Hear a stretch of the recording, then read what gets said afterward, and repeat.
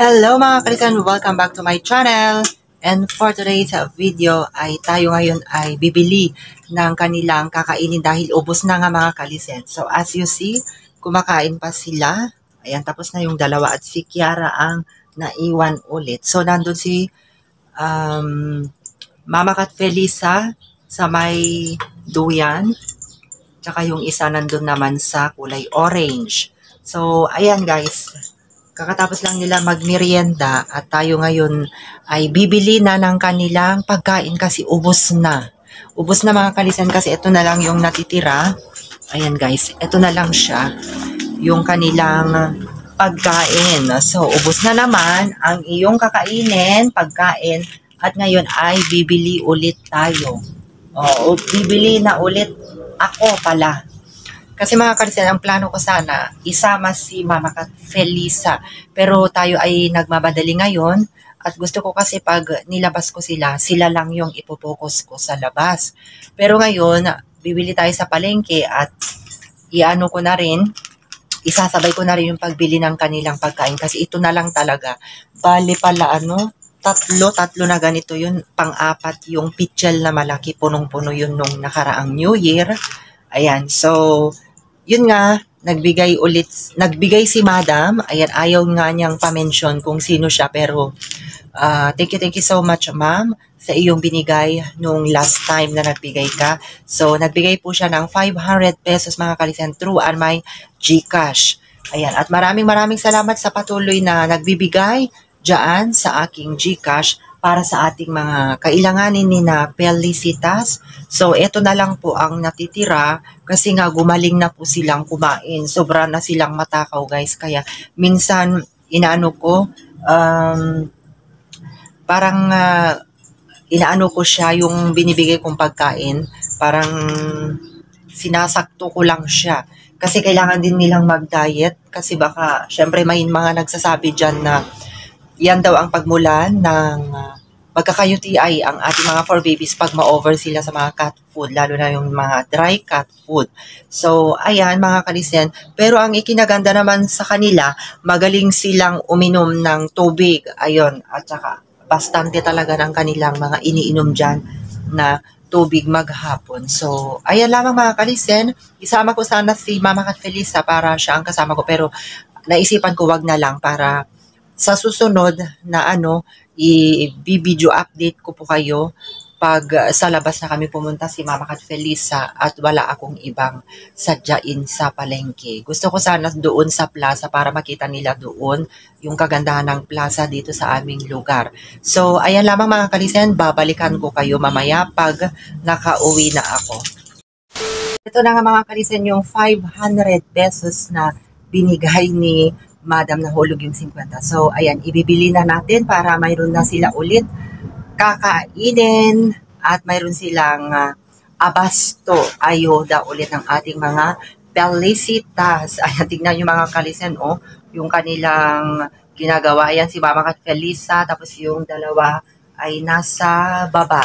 Pagdating naman sa pagkain nila mga kalisen pala, no, tinry ko yung chicken flavor nung nakaraang. Pero ano lang, kalahati lang pala ang ano ko, tinry ko sa kanila dahil may nag-comment dyan sa comment section. Pero hindi nila kinakain kasi talaga parang siguro nasanay na sila sa soy cat food, no.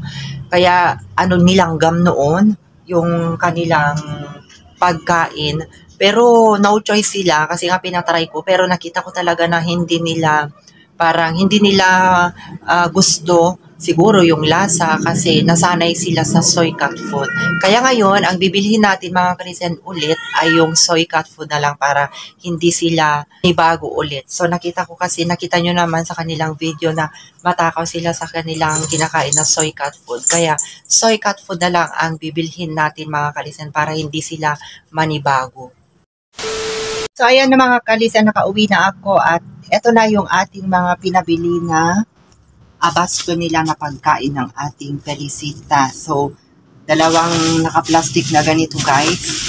So, ayan, lagyan na natin yung kanilang mga jar. Ayan, so, ito, kanina, mayroon pang konti.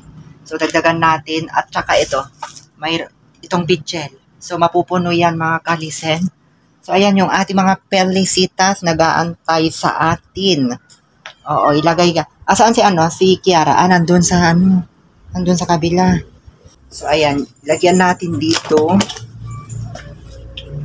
sa isang jar.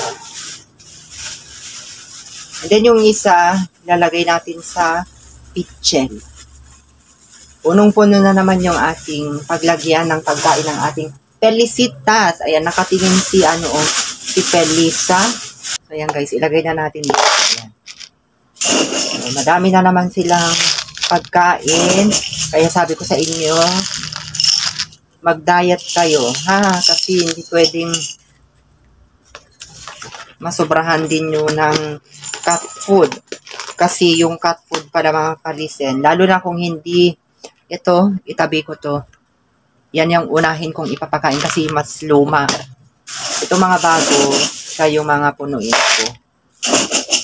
Ito yung mga punuin natin para sagana sa pagkain ng ating mga pelicitas. Wait lang ha, wait lang kasi maglalagay lang tayo dito sa pit gel. Yan guys. So, mapupuno na naman itong pitcher natin. Okay natin dito. Oh, ayan oh, puno na siya. Ayan guys. Puno na yung ating pitcher oh. Pero ano kasi mga kalisen, yung mga pusa dito sa labas ay binibigyan natin si na Pancho at saka si uh, Dayuhan si Dayuhan, yung kabit ni Pancho. So ito, ilagay ko lang muna sa ano nila para ano ma-consume na nila itong luma. Hindi ko kasi inuuna itong mga bago pag mayroon pang konti. Ito yung pinaka ano. So, ay, wag ah. Diyos ko natumba na yung ating pitch. Excited na si Kiara, wait lang. Ayan, yung ating uh, pinamili na pagkain ng ating mga pelicitas. Ayan, punong-puno. At saka mayroon pang plastic dito mga kalisan, oh. Ayan. So, ito muna yung uunahin nating ipakain sa kanila. At bigyan din natin ng ating mga uh, pancho sa labas at saka si dayuhan. So, ayan lamang mga kalisan yung aming vlog of the day. Ayan, maraming salamat daw sabi ni Kiara. Ayan, nangangalmot na siya kasi nga gusto niyang humingi ng cat food. Nung uh, first week ng January, Madam, ito na po yung binigay nyo sa akin. So, binili ko na ng kanilang pagkain. Maraming maraming salamat po, ma'am. This is Unofficial Yani Vlog is now signing off. Bye-bye!